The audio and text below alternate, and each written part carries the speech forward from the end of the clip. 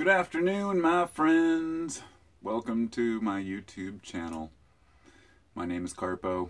I'm sitting in the school bus and I'm going to talk about parenting for a minute. Where do we start? There's absolutely nowhere to start. Being a parent is a damn hard job.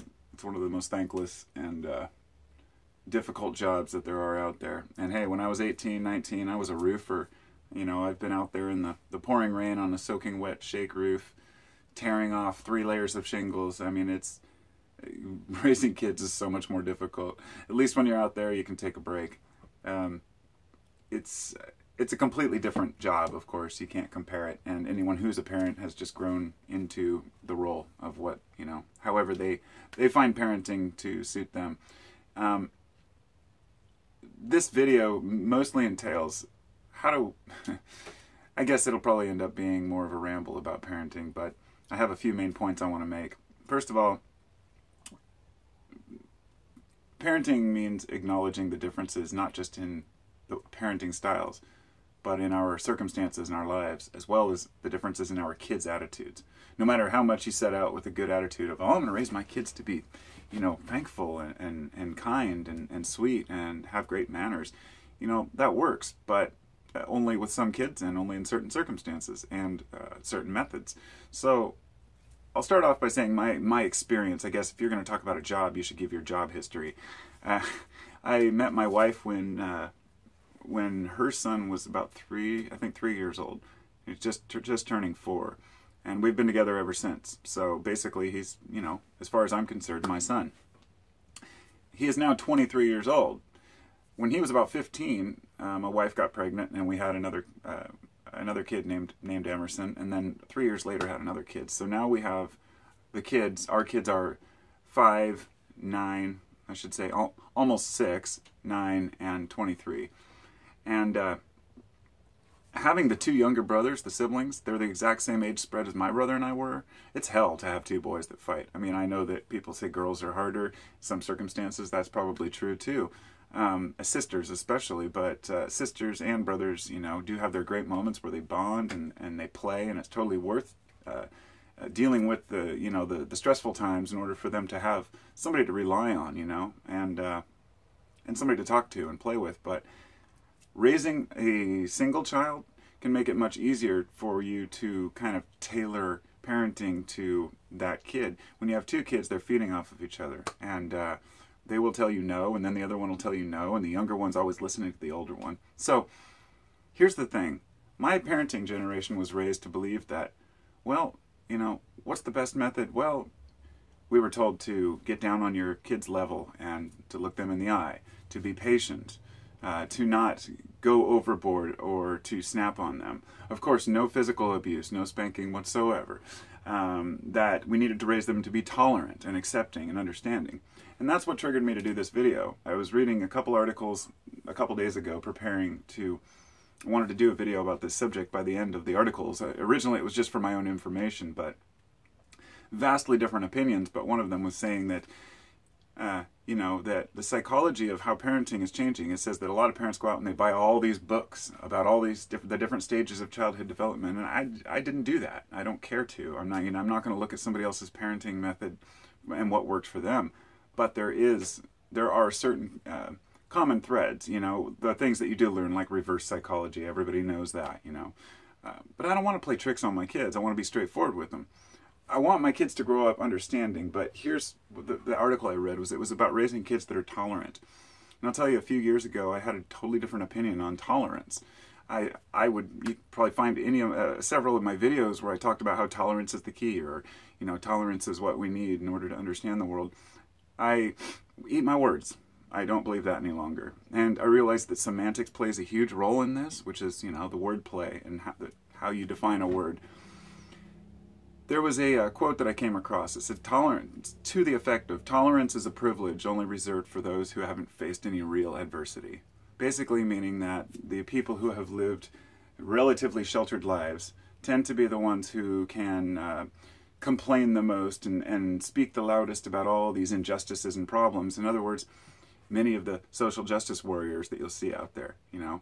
Some of them are trust fund kids who just wanted to put their energy out in a different way. Some people had nothing to do with money. It was just people who want something to fight against because we've I know that's a completely different story and I'm not trying to say that anybody out there fighting for justice is, you know, some sort of a spoiled punk at all. Um, but the attitudes of a lot of people um, we've given kids, the whole generation of what they call millennials, uh, way too much space. And, and it took me a while to understand that. Tolerance, the word tolerance, it means to tolerate. Now, tolerating doesn't mean being accepting or being kind or, or um, you know, discussing the issues. Toleration means you tolerate something. You tolerate the heat on a hot day when you're sweating and you wish it would cool down. You know, you tolerate the pain when you're suffering and there's nothing you can do about it. Tolerating doesn't isn't a good word. it's a very bad description. So raising kids to be tolerant, in other words, it means you're telling them if you don't have something nice to say, don't say anything at all. Now, I I believed that for a time and I've seen how it's backfiring on society. If you tell your kids not to speak up, then they're not going to speak up. Not just if somebody looks different, but if somebody's acting different. Say somebody's being crude or, or harsh and they say, "Well, I was always told to mind my own business." And it kind of goes back to what I said the other day about rude people and, and encountering them and saying, This is my community. I'm not going to put up with people harassing others, my neighbors. But, uh, you know, I think what happened was a lot of kids did want to stick up for each other, but they ended up fighting against all these injustices that they don't understand. And, um, and, and, uh, I don't know, just getting pissed off at the world. Like a whole generation is pissed off at the world, but they're blaming it on all the old people, the old generation, and it just doesn't work that way. Uh, even Uh, somebody recently, a kid said, you know, we need to get all the old people out of Congress.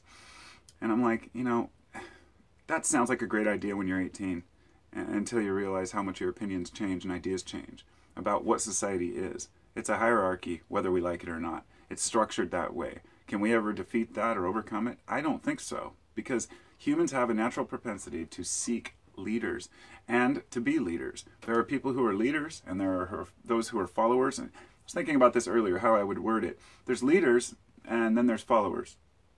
And then there are participants. The participants are the ones who uh, are in the society, but they're not really leading or following anyone. They're very just wary and cautious. And then there are what I call the shepherds. And those are the ones who are opting out of society's bullshit, but have to interact with it to a certain extent, but only to educate themselves enough to try to help their fellow man to not make the same mistakes that others have made. Um, sometimes it's even a do as I say, not as I do thing. I mean, the people who have made mistakes in their lives are the best presented to share those mistakes they made and, and uh, to say, this is how I got myself screwed over, don't make the same mistake. That's why addicts make the best drug counselors, um, or ex addicts, rather. um, so what's happening to I, I feel is that we had a whole generation of kids growing up that were were um, um, that were kind of trying to come into their own that weren't being punished as the ruler slapped by the teacher kind of thing. So they had a lot more space and even to today where I've seen kids literally spitting in teachers' faces and flipping them off and calling them names. I mean that's completely unacceptable in any place in any setting, but you would not see that back in the 50s, right? And we thought, well, it's because everybody was so strict, and being strict is bad, and discipline is bad. It's not. You know, every, anybody who's had a dog who's who's acting out and that is doing things it's not supposed to do, when that dog is punished, you think that he would get pissed at you? No. They actually, you'll find that your dog loves you more after you've punished him. It's something that's ingrained within the minds of a lot of mammals, I don't know how many animals, but that if you're punished, you're almost thankful for saying thank you for keeping me in line. Kids are the same way. I've seen it over and over. A kid screaming and ranting at his parents, the minute that parent screams back and gets, you know, right in their face and makes their point, the kid cries for a minute and then they come back to their parent and they want a hug. They want to be accepted, they want to be loved, but they also want to be scolded and told when they're doing wrong. And some kids are spoiled brats and they were never taught what it means to be to have real adversity. So they think tolerance is just putting up with everything. Sorry, I'm kind of rambling, but I had a lot of different ideas in my head. I think that what's happened is that a lot of parents have have uh, said my my kid can't sit still. um, in class and he's just not paying attention. And my wife actually yesterday when we were going through some paperwork, she, or a couple days ago, she found one of my old report cards because my mom had brought over a folder of my old stuff and it was from sixth grade and it said, uh, it says, Josh is very bright and capable, but he's frustrating to work with because he doesn't do the assignments. And that was my, my story all the way through school. I graduated with the knowledge and passing the tests, but doing no homework, and basically my GPA, you know, I didn't have enough credits didn't care. You know, for me, it was always about the knowledge, not about the numbers. And I sure as hell don't like being told to do extracurricular work outside of school. So I was a rebel. I was a stoner, skateboarder, ride off and do my own thing, skip school, smoke weed, and all that. Uh, but I still went, and I was dedicated to going to school, and I learned the things I needed to learn. You know, but what? But today, now, if kids are act like that, the, the parents don't just say, "Oh, well, my kid's a rebel." They say he needs medication. Next thing you know, well, we've got a pill for that. Let's take some ADHD medication. Let's put your kids on amphetamines. Why not? Hey, you know, it might completely annihilate their, you know, chance at adulthood to lead a normal life by altering their brain chemistry as a youth, but as long as it helps you as a parent to make things easier, right? And I'm not saying there isn't maybe some extreme cases where that's necessary, but in general, I think that it's well overprescribed for kids who are just acting out. That's what kids do. Be a parent learn to deal with it. You know, there are times when I get so frustrated with with my kids, but you know what? Uh, generally, they overcome whatever issue they're having pretty quickly. Um, studies have found that a lot of what's mis- misdiagnosed as ADHD these days is actually a lack of sleep. The kids aren't getting enough sleep, and uh, it's, I guess, showing uh, through their attitudes. So, there's one last thing I'd like to mention about this. You know, the internet factor when I was growing up, we had video games like Atari. Okay, when Atari, my dad got one. I remember we played Asteroids for hours one night. Um, then I had a ColecoVision. But these were things where you had a game, you'd get bored with it, you'd go outside and play. We didn't sit around and game for hours on end every day. When you have kids that are into games, it's very difficult to break them away. And we understand the psychology and what's going on in the brain much better now. It's that dopamine rush. It's just like cocaine, you know, the excitement of the game. And uh, so you have to teach your kids to understand that, or at least in my opinion, that's what I'm doing with my kids. I'm I, I let him sit and watch shows about like uh, sometimes a TED talks or something. One will come on about video game addiction, and he'll sit there and watch it, and they'll explain the dopamine you know system and how everything works, and he's fascinated. He he's he knows, you know, he he wants to. He has to be armed with the proper knowledge of what's going on in his brain so he doesn't just think I'm the bad guy for saying no more games. Um, but we think the kids sometimes are just too young to know these things. Or too, no, I don't think so. I think that they're underexposed. I think we need to, you know, uh, stop with the, the, hiding, you know, hiding the truth from them. Uh, but at the same time, they're kids. You know, they don't need to know everything. Um, it's never too late to learn how to be a parent, and that's the one thing. You know, I can admit that I've made mistakes over the years, and I'm probably still making mistakes today. It doesn't matter how much you know my own mom might tell me or my wife's mom might tell her about their experiences with kids or how much their parents might have told them about their experiences with kids because every generation is immersed in something completely different and every person is completely different. And then we have the factor of different attitudes around different people. So all we can do is the best we can do. So in essence, I want to commend all the parents out there who do take the time to try their best, you know, to do their best and, and realize that they're kids.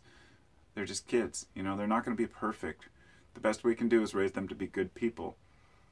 So it means don't talk down to them, but you don't have to treat them as an equal.